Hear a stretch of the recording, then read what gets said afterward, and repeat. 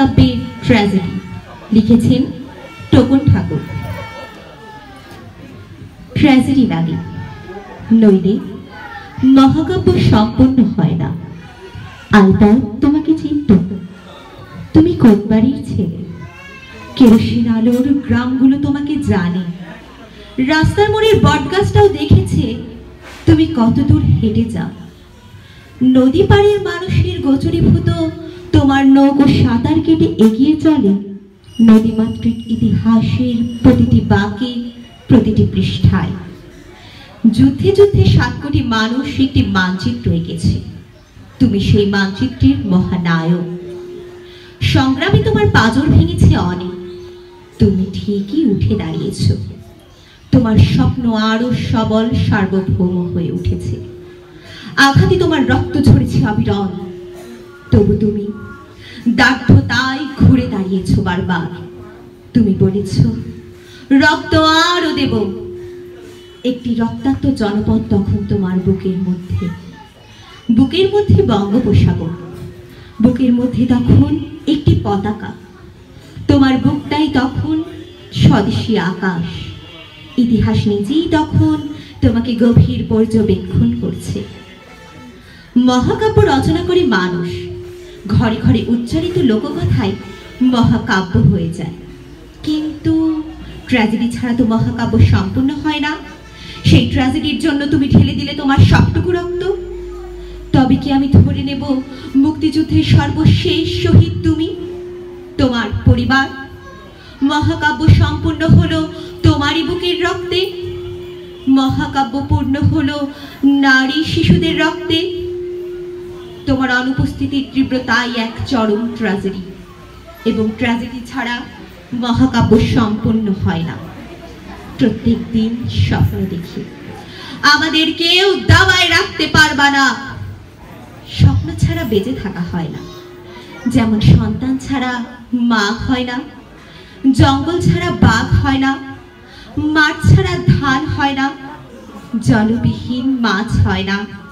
তুমি ছাড়াও বাংলাদেশ হয় না। ধন্যবাদ। ধন্যবাদ জানাচ্ছি। তাসরিফা ইসলাম প্রিয়ন্তীকে আহ, আমি রাত্রি আবৃত্তি করছি স্বাধীনতা। এই শব্দটি কীভাবে আমাদের হলো? লিখেছেন নির্মলেন্দু গুণ। একটি কবিতা লেখা হবে। তার জন্য অপেক্ষার উত্তেজনা নিয়ে লক্ষ লক্ষ উন্মত্ত অধীর ব্যাকুল বিদ্রোহী শ্রোতা বসে আছে। ভোর থেকে জনসমুদ্রের উদ্যান সৈকতে। কখন আসবে কবি? এই শিশু পার্ক সেদিন ছিল না। এই বৃক্ষে ফুলে শোভিত উদ্যান সেদিন ছিল না। এই তন্দ্রাচ্ছন্ন বিবর্ণ বিকেল সেদিন ছিল না। তাহলে কেমন ছিল সেদিনের সেই বিকেল বেলাটি তাহলে কেমন ছিল শিশু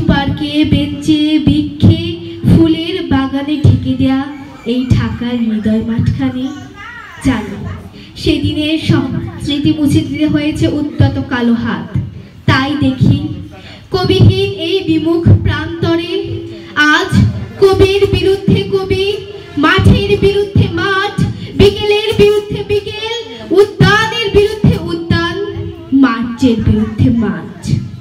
হে অনাগত শিশু, হে আগামী দিনের কবি শিশু পার্কের রঙিন দোলনায় দোল খেতে খেতে তুমি একদিন সব জানতে পারবে।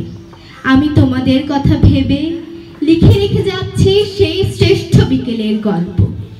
সেদিন এই উদ্যানের রূপ ছিল ভিন্নতর। না পার্ক, না ফুলের বাগান, এসবের কিছুই ছিল না। শুধু একখণ্ড অখণ্ড আকাশ যেরকম, সেরকম দিগন্ত প্লাবিত ধুধু মাঠ ছিল দুর্বাদালে ঢাকা।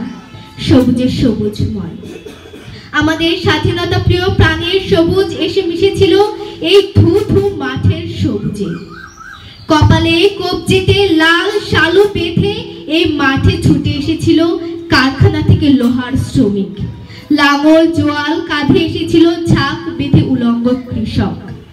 হাতের মুঠোয় মৃত্যু, চোখে স্বপ্ন নিয়ে এসেছিল মধ্যবিত্ত, নিম্নবিত্ত, করুণ কেরানি নারী বৃদ্ধ ভবঘুরে আর তোমাদের মতো শিশু পাতা কুড়েনারে দল বেঁধে। একটি কবিতা পড়া হবে। তার জন্য কি ব্যাকুল প্রতীক্ষা মানুষের? কখন আসবে কবি?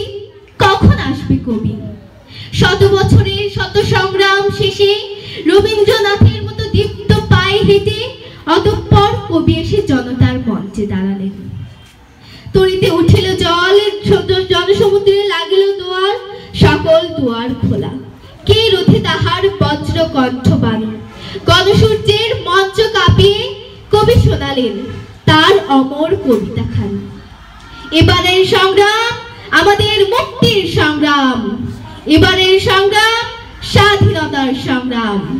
সেই থেকে স্বাধীনতা শব্দটি আমাদের।